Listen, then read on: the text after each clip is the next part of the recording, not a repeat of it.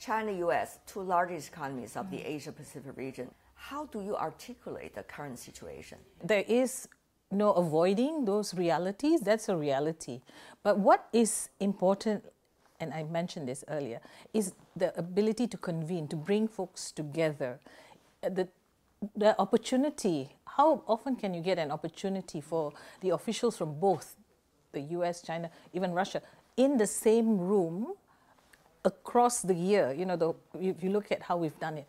And it and that is that's what makes important because you build relationships you know with relationship you build that relationship you build trust. Yes you have disagreements but at the end of the day we have this pull asides these informal discussions to see how we can in spite of all that noise in spite of all the tensions still have something uh, important for our people? Well, for example, if you look at how tariff wars in the 1930s, that caused a massive depression, right? The Great Depression. Yeah. So tit for tat doesn't work, one.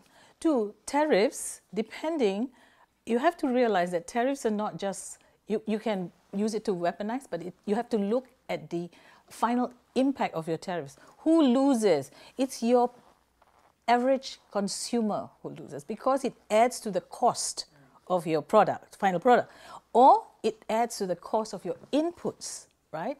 And it will pass through.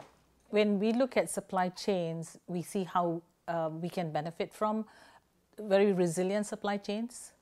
Uh, you know, yes, there's a lot of conversations going on, a lot of criticism saying, you know, you want to onshore, friendshore, and all. But at the end of the day, we must have our focus on what's the benefit. You know, uh, would a longer, more divert, uh, you know, more divergence uh, provide more more results for the economy? You know, if you look at the, I'll go back to the Putrajaya vision. We have three drivers, three economic drivers: trade and investment, um, digitalization and innovation, mm-hmm. and the sustainable and inclusive growth. Right. Yes. So, whatever uh, President Xi says is really encapsulated you know, if you if you analyze what we have in the Putrajaya vision, exactly those things. You know, leaders, their role is to encourage this aspiration, right? Mm.